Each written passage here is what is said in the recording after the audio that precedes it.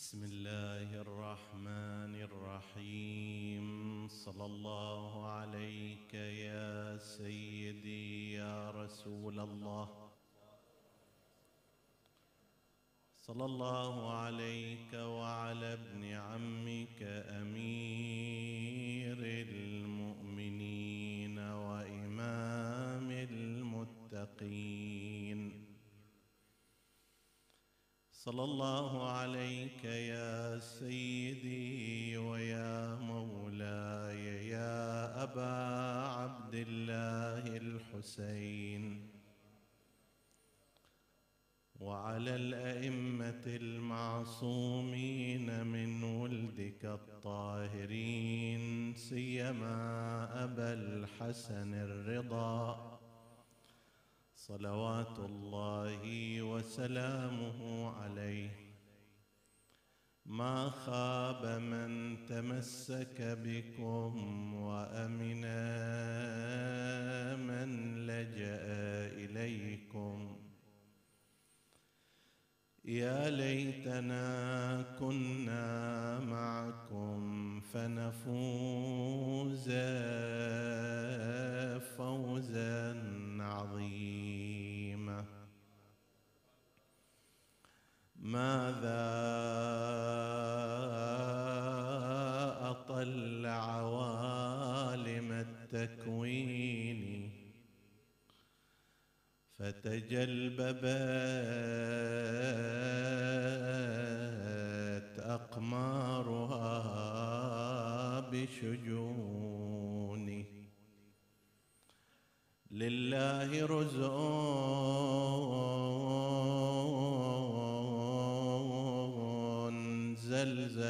السبع الطباق فأعولت برنيني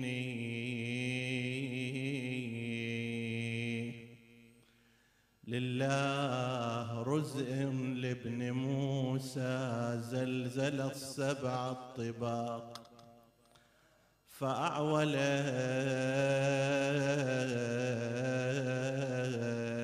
برنيني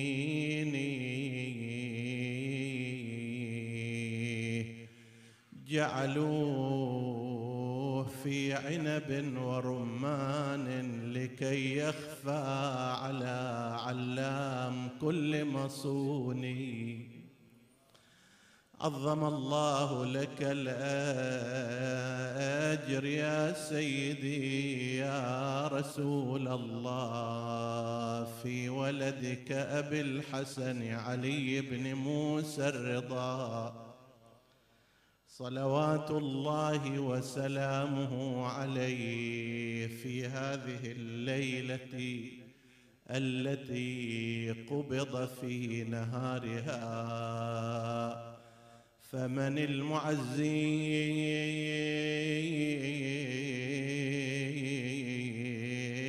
من نزار أسرة ألفايت شبابيض وقب بطوني. ومن المعز المرتضى يا أن الرضا نال العدا منه قديم ضغوني. بلى نعى الإمام الرضا نفسه قبل موته. فقال لدعبل وهو ينشئ قصيدته ألا أضيف لك بيتين من الشعر يكون بهما تمام القصيدة؟ قال بلى قال قل وقبر بطوس يا لها من مصيبة ألحت على الأحشاء يا,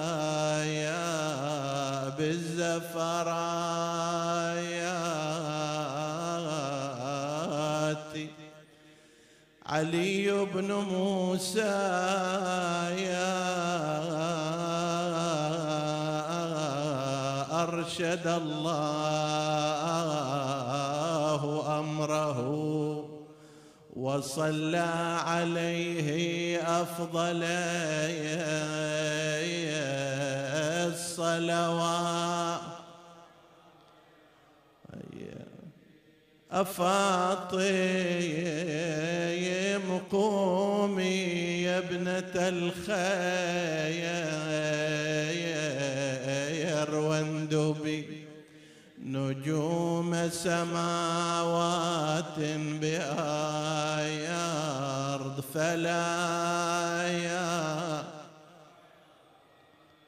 كأني بها ولسان حالها لا تحسبوني للرضا يا في طوس ما ولا إلى بغداد يا ما رحت وتعني أنا كلهم عليهم نوحيت والجيب شك. لكنما الأمر لله لا حول ولا قوة إلا بالله العلي العظيم. إنا لله وإنا إليه راجعون وسيعلم الذين ظلموا أي منقلب ينقلبون والعاقبة للمتقين. عطروا مجالسكم بذكر محمد وآل محمد.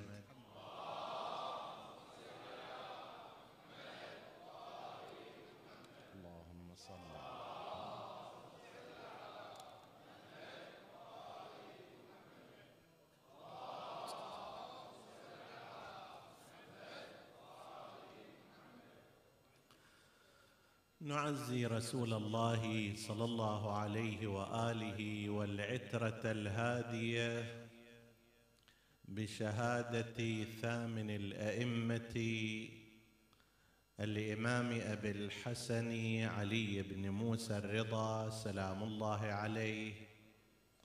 ونسأل الله الذي عرفنا إياه في حياتنا أن يجمع بيننا وبينه في الجنة وأن يكرمنا بشفاعته وشفاعة آبائه وأبنائه إنه على كل شيء قدير. ونتحدث هذه الليلة في شيء من سيرة حياته المباركة نسلط فيها بعض الضوء على نقاط مهمة في حياته. إمامنا الرضا عليه السلام ولد في سنة مئة وثمانية وأربعين هجرية على قول ومئة وثلاثة وخمسين هجرية على قول آخر. الفارق بينهما خمس سنوات في الروايتين. إذا كان في سنة 148 هجرية فيفترض أنه أدرك شيئا ولو أشهر من حياة الإمام الصادق عليه السلام جده. وإذا لا في سنة 153 فهو لم يدرك شيئا من حياته. كل عمره الشريف يتراوح بين خمسين سنة على الرواية الثانية أو خمسة وخمسين سنة على الرواية الأولى. وعمر خمسة وخمسين سنة أو خمسين سنة يشير ضمن ما تشير بقية القرائن إلى أن مغادرته الدنيا لم تكن بطريق طبيعي وإنما بتدخل من عدو عن طريق الاغتيال بالإضافة إلى الروايات الواردة في هذا الأمر. هذا الإمام العظيم جاء من أم في الاصطلاح الفقهي يعبر عنها أم ولد. عندنا في الفقه النكاح على قسمين. تارة يتزوج الإنسان امرأة حرة فيحتاج إلى عقد إيجاب من طرفها من طرف المراه وقبول من طرف الرجل. هذا عقد نكاح مع النساء الحرائر. وتارة يكون نكاح المرأة لا على أساس الزواج بالعقد لأنها ليست حرة وإنما جارية مشترات. كما أشار القرآن الكريم إلا على أزواجهم أو ما ملكت أيمانهم فإنهم غير ملومين. فهذا نكاح بملك اليمين. في ذلك الزمان وضع الإسلام خطة طويلة الأمد للقضاء على قضايا الرق والاستعباد في المجتمع. فعمل مجموعة من التشريعات اللي نهاية هذه التشريعات تجعل النساء الجواري حرات والعبيد الارقاء أحرارا. من جملة ذلك قضية الزواج بهن. فإذا اشترى رجل امرأة جارية ونكحها وأنجبت له. هذه تنعتق بعد وفاته فورا من نصيب ابنها في الميراث. ويقال لها أم ولد يعني بعد موت زوجها تصبح حرة لا يصح بيعها وشراؤها فيما بعد ذلك. ويعبرون عنها في الفقه بعنوان أم ولد. إحنا نلاحظ أن الأئمة المعصومين عليهم السلام من زمان الإمام الكاظم عليه السلام إلى الإمام المهدي عجل الله تعالى فرجه الشريف لذكره صلوا عليه وعلى آبائه.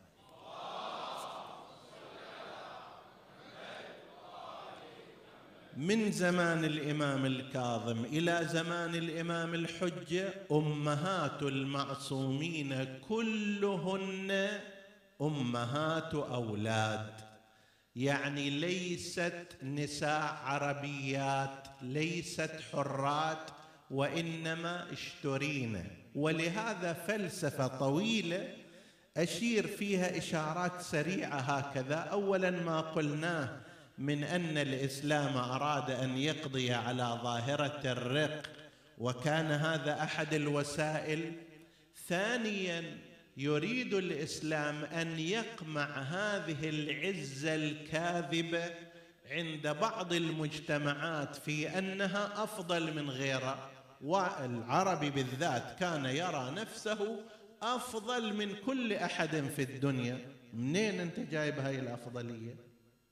هناك مجتمعات ذات حضارات تاريخية قديمة تعرق فيها العلم تعرق فيها الأخلاق الحضارية. أنت الإنسان العربي قد تكون متأخر عن تلك الحضارات ولكن أكو الإنسان عنده عزة بنفسه وافتخار بهذا الجانب.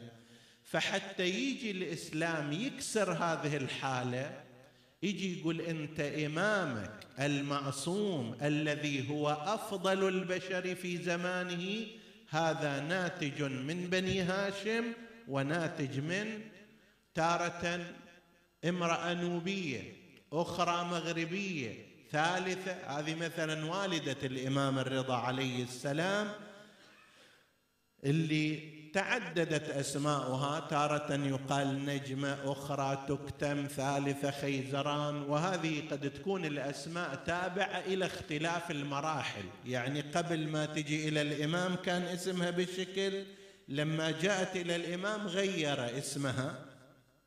هذه تكتم أو نجمة أو خيزران. بعض الروايات تشير إلى أنها كانت من أقصى المغرب وقريب من المناطق الأوروبية لذلك في بعض أوصافها أنها الشقراء الخيزران الشقراء طيب أو المغربية الشقراء. فهذه من النساء من مجتمع من أسرة. أنت صحيح ما تعرفها وليست عربية لكن هل الفضل فقط في العرب؟ لا هناك أيضا أسر فاضلة هناك قيم عالية في سائر المجتمعات حتى لقد قيل في شأنها أنه عندما رآها رجل من علماء أهل الكتاب رآها عند هذا الرجل الذي يبيع الجواري قال لمن هذه الجارية؟ قال لي. قال ما ينبغي أن تكون عندك. مو مو أهلها. قال لما؟ قال لأنها يجب أن تكون عند خير أهل الأرض فتلد له خير أهل الأرض. هذا مما نعرفه من علمنا. العلم المخزون عندنا أنا كواحد وارث لهذه العلوم أرى هذا الأمر. على أي حال فهذه المرأة هذه الجارية جاءت إلى بيت الإمام الصادق عليه السلام في أول الأمر صارت عند حميدة أو حميدة أم الإمام الكاظم عليه السلام وحميدة أهدتها إلى الإمام الكاظم صلوات الله وسلامه عليه بعد أن اشتريت وقالت حميدة والدة الإمام الكاظم ما رأيت جارية أفضل منها عبادة وخلقا طيب فهذه والدة الإمام عليه السلام الإمام عاش في المدينة المنورة أغلب وقته باستثناء ثلاث سنوات هي السنوات التي انتقل فيها أو نقل فيها إلى طوس خراسان. وإلا الفترة قبل هذا يعني سبعة وأربعين سنة أو اثنين وأربعين سنة حسب اختلاف الروايات. هذه كان في المدينة المنورة والإمام عليه السلام الإمام الرضا بدأ بممارسة العلم والتدريس والدرس في وقت مبكر جدا. وكانت له حلقة في مسجد رسول الله صلى الله عليه وآله. كان يؤخذ عنه العلم. وتعلمون أن الإمام الرضا بعد الإمام الباقر وبعد الإمام الصادق عليهما السلام من أغزر الأئمة عندنا من حيث الروايات والأحاديث. وأحد العلماء شيخ حبيب الله عطاردي عنده سلسلة مسانيد الأئمة عليهم السلام يعني الروايات التي رويت مثلا عن الإمام الكاظم فقط كتاب. الروايات اللي رويت عن الإمام الصادق عن الإمام الرضا عن كذا عن كذا. شوف مثلا لما يجي إلى ما روي عن الإمام الرضا عليه السلام ثمانية مجلدات هي مسانيد الإمام الرضا. في التفسير في العقائد في الفقه في سائر الفنون والقضايا. هذا المقدار اللي اطلع عليه هذا العالم وهو ثمانية مجلدات. بعض علمائنا مثل الشيخ الصدوق على الله مقامه متوفى سنة 381 هجرية انتخب أهم الأخبار اللي سماها العيون وكتب كتابا عيون أخبار الرضا عليه السلام. يأتي في مجلدين ضخمين يعني كل مجلد ثمانمائة صفحة. هذه اللي في رايه الأخبار المهمة الأخبار العيون العالية. طيب هذه كانت في فترات بقاء الإمام الرضا عليه السلام في المدينة وفي الفترة أيضا اللي انتقل فيها إلى مرو خراسان الإمام عليه السلام خلال هذه الفترة أنتج من العلم ومن المعرفة شيئا كثيرا ويعده بعض الباحثين مفجر النهضة الثقافية عند الشيعة في مرحلتها الثالثة. يقولون أن التشيع صار إلى ثلاث مراحل فيها انفجار علمي توسع فكري كبير. المرحلة الأولى كانت زمان أمير المؤمنين عليه السلام. إمام علي لما اجى تكلم بكلام لا يعرفه كل الصحابة. شيء بسيط منه اللي وصل إلنا هو نهج البلاغة ونهج البلاغة إلى الآن يعجز من يقرأه في سعة الآفاق والعلوم التي يفتحها. فهي مرحلة أولى. المرحلة الثانية كانت زمان الباقرين الإمام الباقر والإمام الصادق عليهما السلام. ذولا في زمانهم بعد يكفيك أن راوية واحدا وهو زرارة ابن أعين الشيباني روى عنهما أكثر من ثلاثين ألف حديث. ثلاثين ألف حديث هذا لو كل حديث صفحة واحدة مثلا ثلاثين ألف صفحة من العلم. هذا راوي واحد. دع عنك سائر الرواة والمرحلة الثالثة يتكلمون عن زمان الإمام الرضا عليه السلام أنه كان مفجر النهضة الثقافية والعلمية في زمانه صلوات الله وسلامه عليه. وهذا البحث العلمي والفكري عن الإمام الرضا يحتاج إلى إلى مجالس متعددة لا نستطيع أن نتعرض إلى تفاصيله الآن. فعاش في زمان أبيه الكاظم عليه السلام وعشر سنوات وبث فيها العلم. ثم بعد شهادة أبيه الكاظم عليه السلام سنة 183 هجرية نهض بالأمر صلوات الله وسلامه عليه وكان ذاك الوقت بعده لا يزال هارون العباسي على سدة الحكم. الذي قتل والده في السجن بعد لا يزال على سدة الحكم ومكث في زمانه عشر سنوات أيضا إلى سنة 193 هجرية اللي فيها هلك هارون العباسي. حتى قسم من شيعة أهل البيت لما استشهد الإمام الكاظم عليه السلام ونهض الإمام الرضا بشؤون الإمامة إجوا حذروا الإمام. قالوا له هذا إيه؟ تو الآن قتل والدك بعد سجن متعدد. كيف أنت تظهر نفسك كإمام وخليفة ووارث لأبيك؟ هذا راح يجي يقتلك أيضا. قال لهم كلاما يبين الارتباط بين الإمامة وبين الله عز وجل. قال لقد قيل لجدي رسول الله محمد.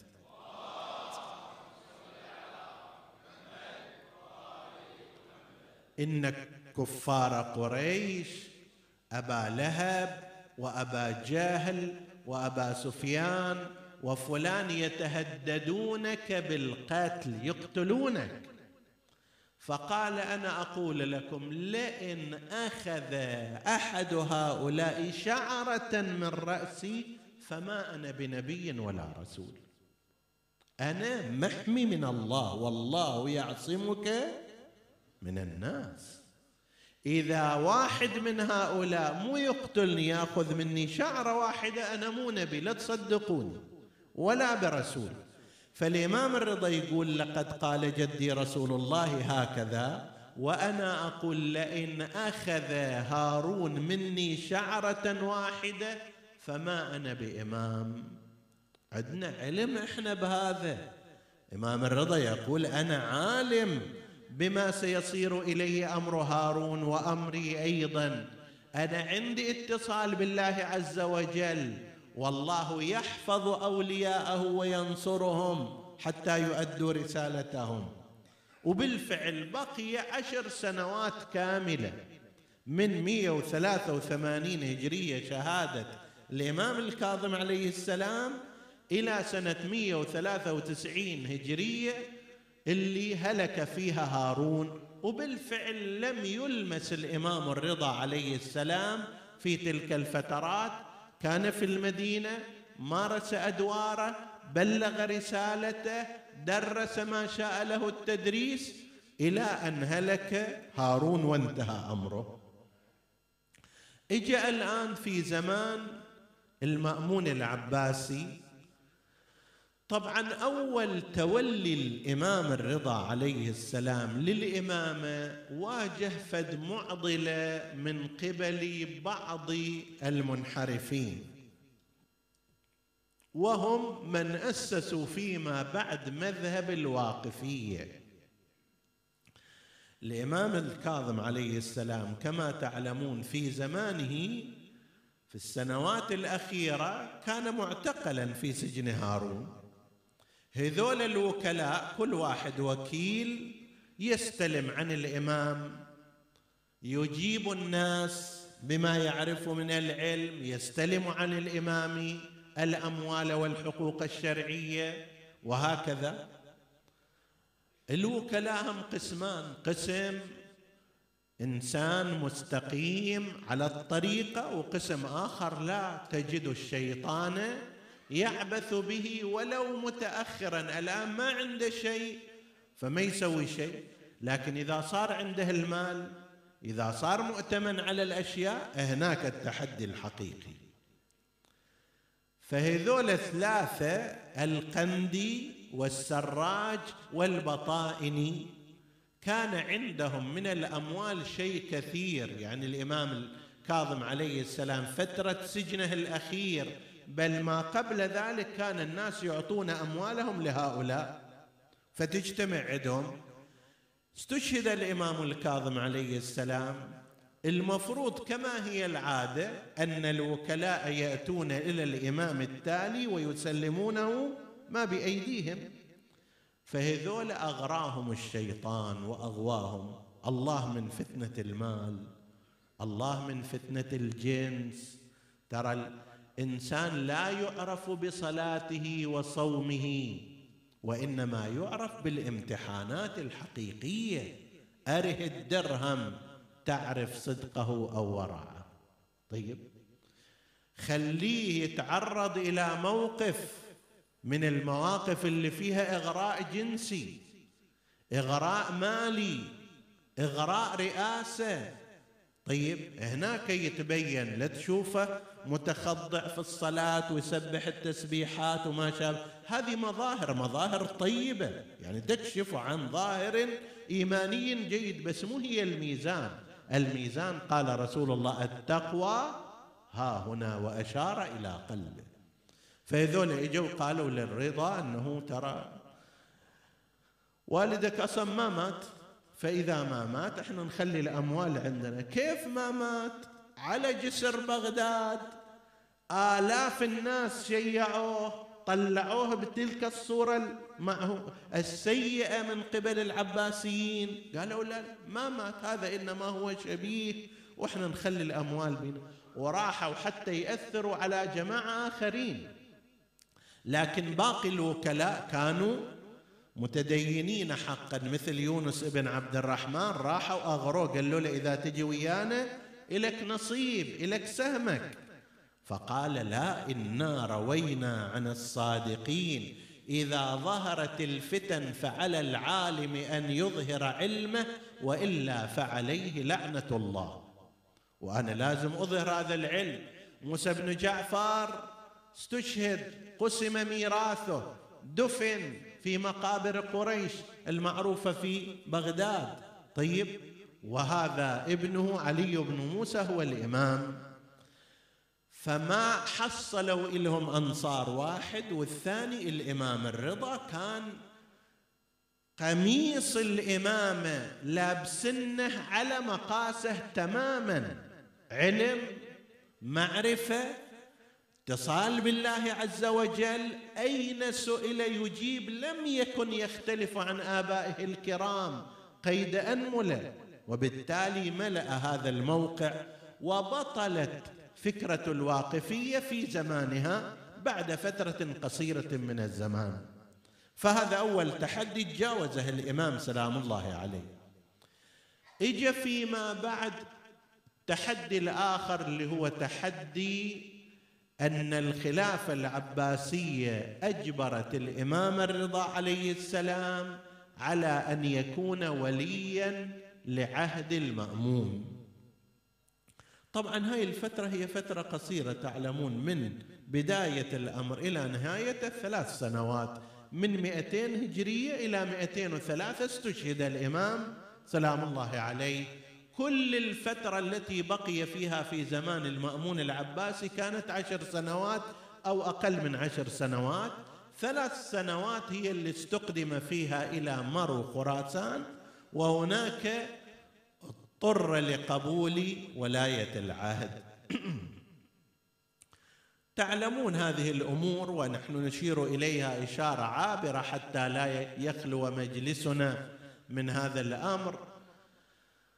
في ذلك الزمان هارون قسم الدولة الإسلامية ثلاثة أقسام على أولاده. شلون واحد شي ملكة يقسم إلك أخذ هالصوب وذاك يقول أخذ هالصوب وذاك يقول أخذ هالصوب.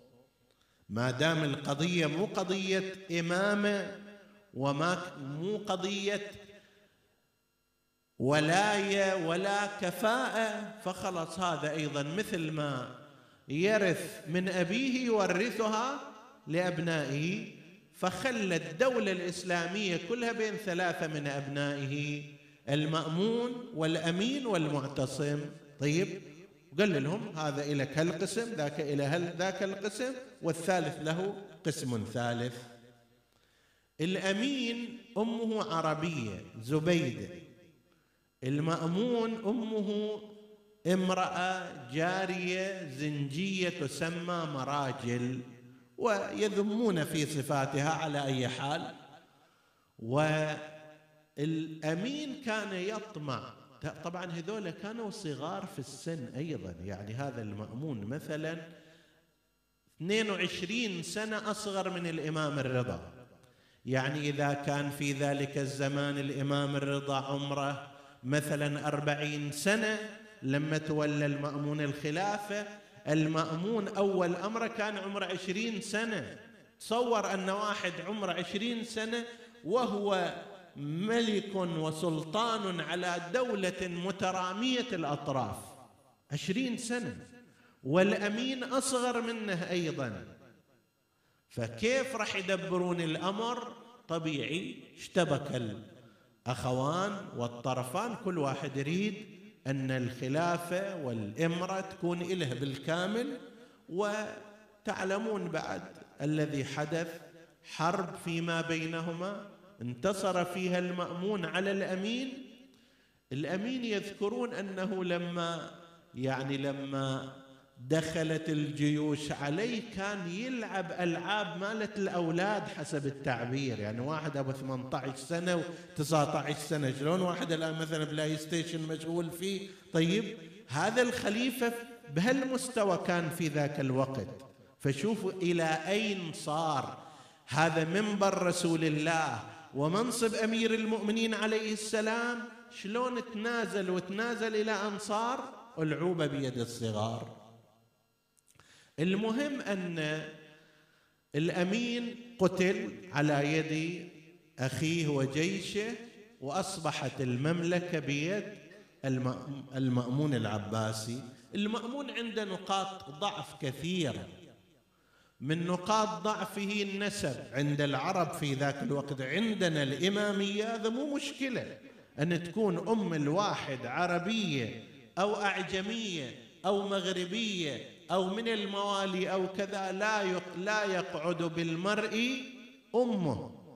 هذا الطرف الآخر اللي عنده الأمور. مو قالها هشام بن عبد الملك إلى زيد بن علي بن الحسين بلغني أنك تطمع في الخلافه وإنما أنت ابن أمة. أمك جارية. شلون أنت تطمع في الخلافه فقال له ومتى كانت الأمهات تقعد بحظوظ الرجال؟ فإن نبينا محمد جده اث اللهم صل عليه جده إسماعيل النبي وكانت أمه أمة هاجر جارية وصار ابنها نبي ومن ذلك النبي النبي المصطفى صلوات الله وسلامه عليه. فاذا الأمة تقعد بالرجال. يقعد بيهم الجهل يقعد بيهم البخل والصفات السيئة. طيب المهم بس ذاك عند ذاك الطرف لا أمر مقدس عندهم فهذه من نقطة ضعف عنده. ثانيا عند العرب أن الذي يقتل أخاه هذه نغزة فيه نقطة ضعف ما يصير يتولى الحكم في عاداتهم وتقاليدهم الأمر الثالث أن حاشيته ومجموعته كانت مجموعة غير عربية وزراء مستشاروه. فهذا ضعف وضعه في بغداد ولذلك هو راح آخر الأمر إلى خراسان. هنا أراد أن يتوسل بنقطة قوة. من نقطة القوة الموجودة؟ الإمام الرضا عليه السلام. فطلب الإمام الرضا أن يأتي إلى خراسان. الإمام في أول الأمر رفض. فقال له الرسول أنه إذا لم تأتي بنفسك تستحضر يعني مو بكيفك حسب التعبير تتعرض إلى القتل تتعرض إلى الأذى. وأئمتنا عليهم السلام ما كانوا بهذه الصورة من من يحبون العنف والمواجهة لأقل الأسباب. فبالفعل جاء إلى مروا إلى خراسان هناك المأمون عرض علي قال له أنه أنا أريد أن أتنازل عن الخلافة وأعطيك إياها. فالإمام الرضا عليه السلام رجل إمام حكيم فاهم المعادلة قال له إذا الخلافة مو إلك كيف تعطيها إلى غيرك؟ ما إلك حق تعطيها. وإذا الخلافه مالتك ومفصله عليك ما يصير أيضا تحولها إلى غيرك. قال لا بد من ذلك إذا ما تقبل الخلافه بالكامل فكن ولي العهد.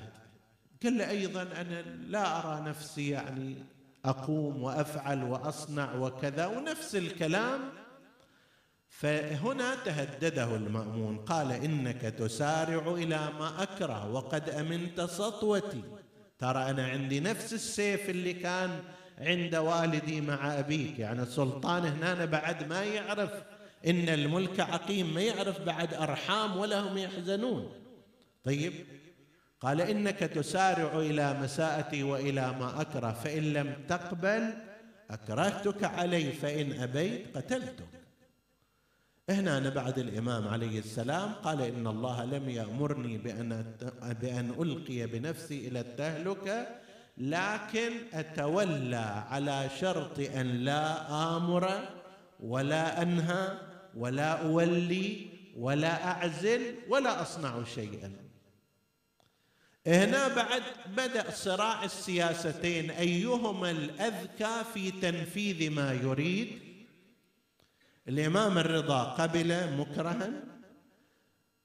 عامة الناس نظروا إلى أنه خوش شيء آخر شيء رجعت الخلافة إلى موقعها الطبيعي صار الإمام الرضا هو الخليفة.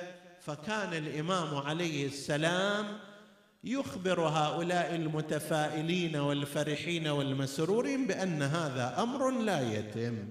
ما يصير هذا؟ وإنني أموت قبل المأمون. كيف يصير ولي عهد؟ وإني أعلم من يقتلني وأعرف من يقتلني. طيب. بس مع ذلك الإمام عليه السلام حاول أن ينتفع بهذه الفرصة التي أتيحت إليه. انتفع بها بأنه صار بلاط الخلافة العباسية بدل ما يصير محل رقابة على الإمام الرضا عليه السلام صار ديوان لنشر فضائل آل محمد.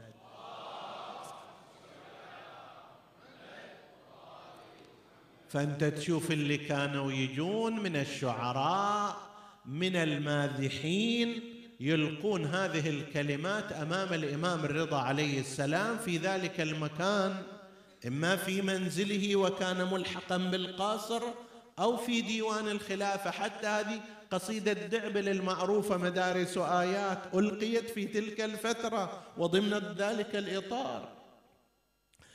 أحاديث وروايات عن الإمام أمير المؤمنين عليه السلام مجلس المناظرة العظيم الذي ربما لم يشهد تاريخ الإسلام مثله عندما جمع المأمون كان يريد المأمون أن في تعبيره نكس راية الإمام الرضا عليه السلام. رواية ينقل ينقلها الشيخ الصدوق في عيون الأخبار فيقول بينما الإمام الرضا جالس ومعه النوفلي في مر وإذا بالباب تطرق. قال رسول الخليفة ماذا تريد؟ قال الخليفة يدعوك وقد اجتمع عنده أرباب الملل وأهل المقالات. رئيس اليهود رئيس النصارى رئيس الصابئة رئيس الفلاسفة رئيس الدهرية كل هذول موجودون هناك والمجلس غاص بأهله. فالتفت الإمام الرضا عليه السلام إلى هذا صاحبه النوفلي قال ترى ماذا يريد المأمون؟ قال يا سيدي أنت أعلم. فقال أنت أجب. قال هذا النوفلي قال للإمام الرضا إنه قد جمع لك أناس لا يعتقدون لا بالقرآن ولا بكلام جدك رسول الله وسيسألونك أسئلة فإذا تقول القرآن قال شكل يقول؟ لك أنا ما أعترف بالقرآن. جيب لي دليل غير هذا. تقول النبي قال كذا يقول لك أنا ما أعترف بالنبي مالك. طيب.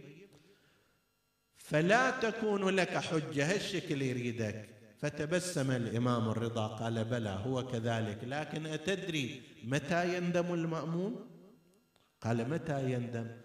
قال عندما يراني أناظر أهل التوراة بتوراة موسى وأهل الإنجيل بإنجيل عيسى وأهل الصابئه بما جاء عن يحيى وبأهل الفلسفة بما جاء عنهم وأغلبهم بحول الله وقوته عندئذ يندم المأمون. يقول أنا مو خوش سويت اللي جبت هذا في هالوقت وعرفته بشأنه. بالفعل جاء الإمام الرضا عليه السلام وابتدأ المجلس بزعيم النصارى الجاثليق يسمونه أو حسب تعبيرنا اليوم رئيس الكاثوليك في ذاك الوقت يسمونه الجاثليق.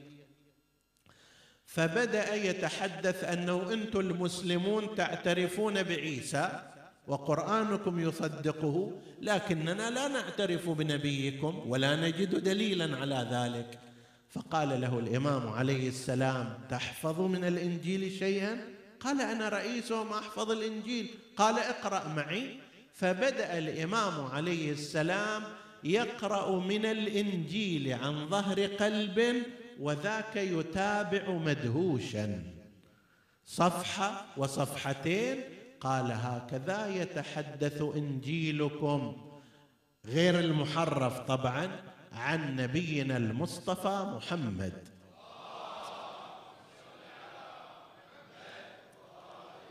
ونفس الكلام في التوراة ونفس الكلام عند الصابئة.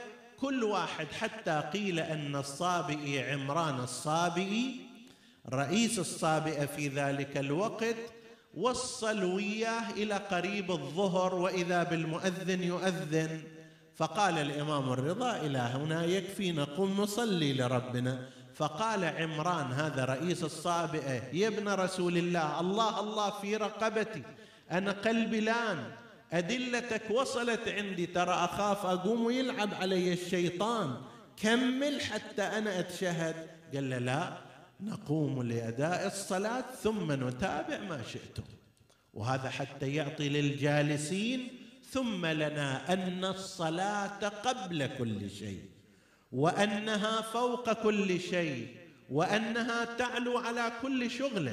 حتى واحد رئيس هذا رئيس فرقة راح يهتدي الإمام يقول لا الصلاة في وقتها أهم من هدايته وكان يعلم أنه سيهتدي بالفعل. فتحول ذلك المجلس وذلك الديوان. وهالمكان هذا إلى شيء تبليغي للإمام الرضا عليه السلام وإلى أهل البيت صلوات الله وسلامه عليهم؟ ولهذا المأمون رأى أنه دخل في صفقة خاسرة.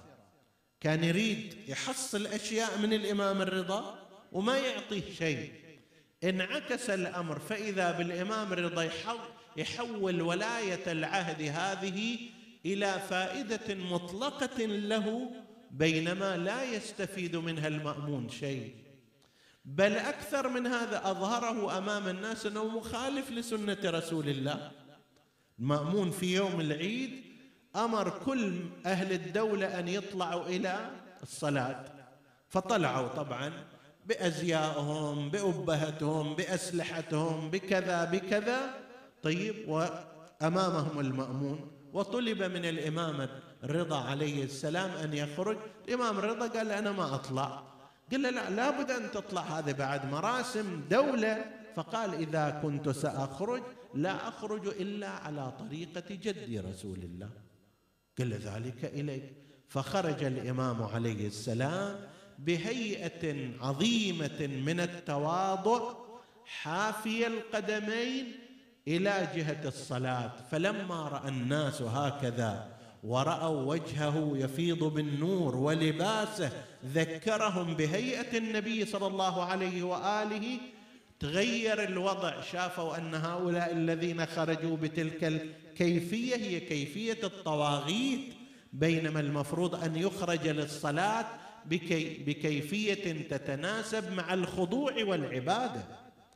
فواحد من مستشاري المأمون قال له إذا وصل علي بن موسى الرضا إلى مكان الصلاة كل الوضع ينقلب ضدك. خليه يرجع أحسن. لأن إما لازم كلنا نصير مثله زين وهذا ما يسعنا أو هو يصير مثلنا يلبس ملابس كذا وهذا لا يصنع. ففعلا أرسل إلي أنه يبنى موسى ارجع إلى مكانك من زاحمك؟ خليك على راحتك.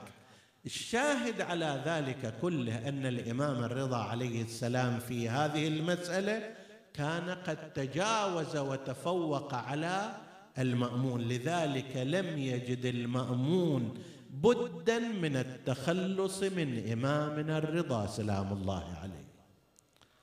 فأخذ يخطط ويفكر ويدبر لكي يغتال هذا الإمام العظيم اللي يفترض أن يوضع بين أحداق العيون محافظة عليه وكرامة لجده رسول الله. لكن أين هؤلاء وأين تعليمات النبي؟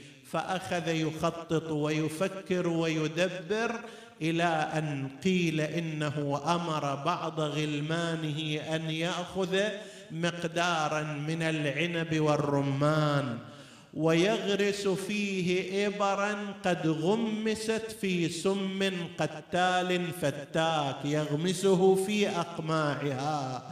هنا قدم إلى إمامنا سلام الله عليه دعي إمامنا الرضا. إلى ذلك الديوان الميشوم وكان معه أبو الصلت فيما نقلوا فدخل إمامنا إلى ذلك المكان قدم له الطعام. استعفى منه قال لعلك تتهمنا لقد أكلت منه الساعة. يا أبا الحسن كل منه أخذ الإمام بضع حبات منه لما أكلها سرى السم في بدنه. أين المنادي وإماماه وسيدا سرى في بدنه فتك في أحشائه قام إمامنا من ذلك الديوان إلى منزله ظل على فراش مرضه يرفع رجلا ويضع أخرى من حرارة السوم قالوا كان عنده ما بين فمه وسرته مثل أن يقطع بالمواسي أو يشرح بالسكاكين. بينما هو على هذه الحالة. قال أبو الصلت نظرت إلى غلام قد أقبل أشبه الناس بأبي الحسن. فدخل إلى المنزل. قلت له من أنت وكيف دخلت؟ قال أدخلني الذي جاء بي من المدينة. أنا أبو جعفر محمد بن علي الجواد. أقبل إلى دار أبيه. ناداه الإمام ضمه إلى صدره. أوصاه بوصايا سلم إليه مواريث الامامه وكتب العلم. وعند احتضار أجله الإمام ترى في غربته يشبه غربة الحسين سلام الله عليه. قضى شهيدا غريبا في ديار غربة بعيدا عن أهله وعشيرته. وعرق جبين الإمام وسكن أنينه وفاضت روحه الطاهرة. يا أين المنادي وإماما؟ وسيداه ومظلوما ضج من في المنزل وعليا واصبح يا الطوس بزلازل والخلق كلها بعوين لجل أبو محمد تزلزل يا خلق عرش الجلي والأعلام السود ما ينشور ومدامعهم تسي اهتزت السبع العلية وبالأرض صار انقلاب. وإماما وقام أبو جعفر يغسله والدمع منه هما. نزل على المغتسل والماء يجاه من السماء وبالطفوف حسين وحسينا وبالطفوف حسين جدة تغسل بفيض الدماء والجفن سافي شيعة عريان عريان مسلوب الثياب. آه تلك أشياخكم على الأرض صرعا لم يبل الشفاه منها يا الزلايال غسلتها دماؤها يا قلبتها أرجل الخيل كفنتها الرمال. نسألك اللهم وندعوك باسمك العظيم الأعظم. الأعز الأجل الأكرم يا الله اغفر لنا ذنوبنا كفر عنا سيئاتنا آمنا في أوطاننا. لا تسلط علينا من لا يخافك ولا يرحمنا ولا تفرق بيننا وبين محمد وآله طرفة عين. فضل اللهم إخواني الحاضرين فردا فردا واقض حوائجهم. اشف اللهم مرضاهم. من أوصانا بالدعاء في حاجة اللهم اقضها يا قاضي الحاجات. وتقبل اللهم عمل المؤسسين بأحسن القبول. إلى أرواح موتاهم وموتى السامعين. نهدي ثواب الفاتحة تسبقها